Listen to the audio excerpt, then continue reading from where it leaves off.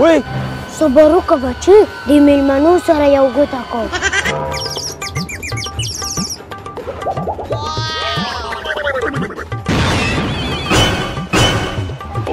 لکه ویټره دا څنګه کباب وو او غیب شولو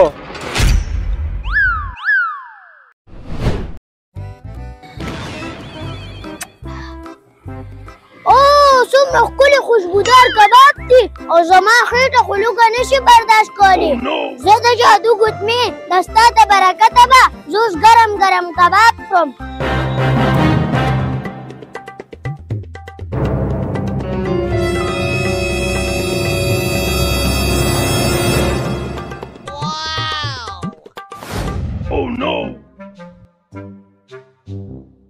یاره صبر وکړه چې ځان خو ورته وږي کم کړم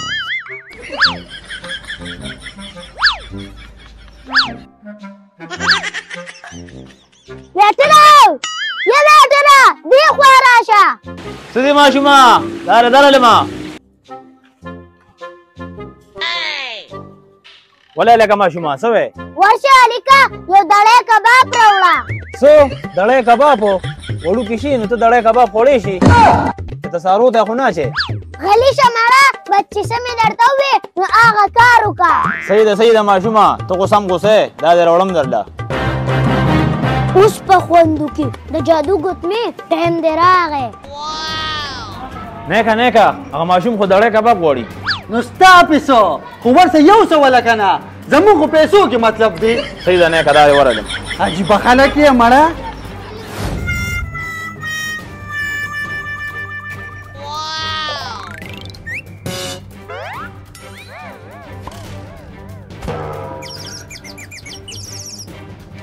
اوس کار وشو زه د جادو ګوتمې دا ټول کباب غیب کا او نو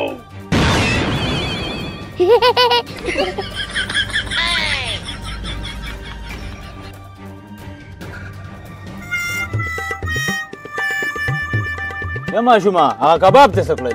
د څه کباب دا خو ما پسې خالي پلیټ راوړه دا څه وی یاره ما هم کور کې ښځې سره جګړه کړې ده او مزغو مې کار ونه کړو دا دې ځم نور دله راوړم ورځه ورځه بچي ته ښځې سره جنګونه کوه او زه به دلته پري کباب خورم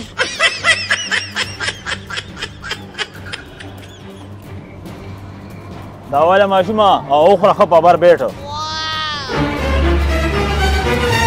زه د جادو کوت می بل پلیټر نه غه دا میو سیټ تکا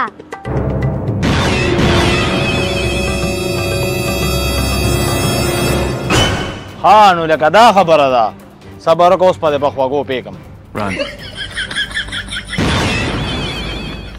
وای دا خو جوړ پیری و ورګه چې نکته و نه کا نه کا هغه ماشوم خو پیری و کباب هم غیب شو او روټه هم غیب شو څه ماشوم پیری و یلکه دا جوړ هغه نفیس و ها ځه ته ورشه ته ورشه خپل کار وکړه زما په خیال چې نفیس سره د جادو ګوتمه اوسه پورې موجوده ده ما خو دا به ترې روکه شوي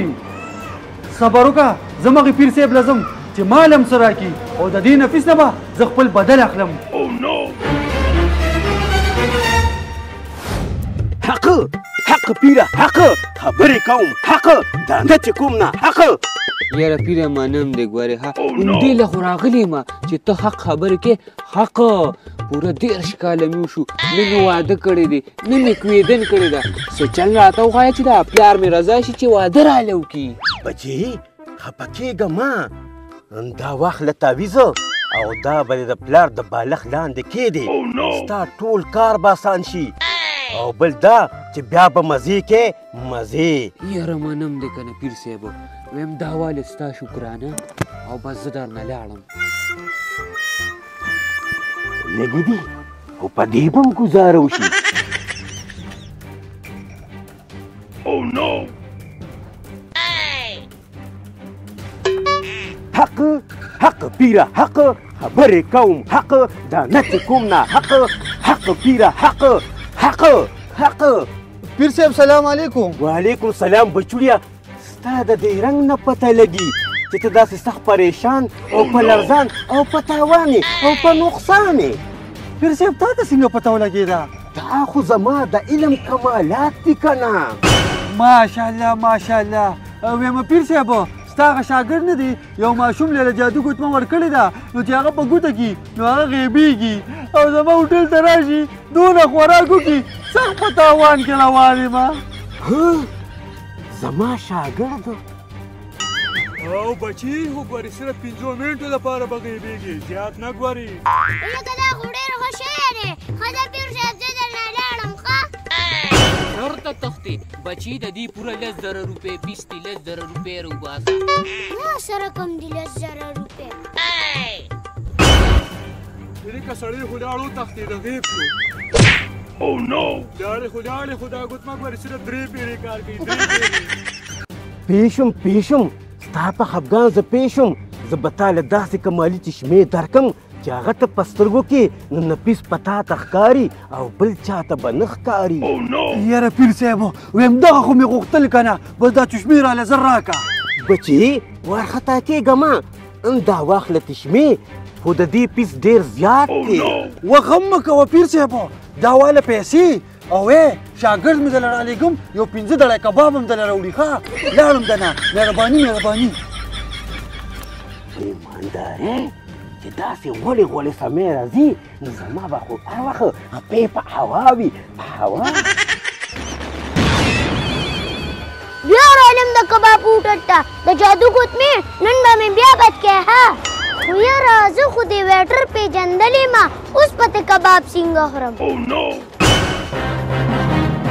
صبر وکړه بچي د میلمنو سره یو ګوته کوم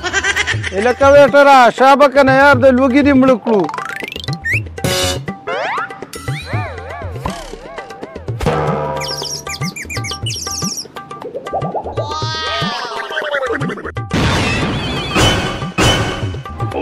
لکه ویټره دا څنګه کباب وو او غیب شولو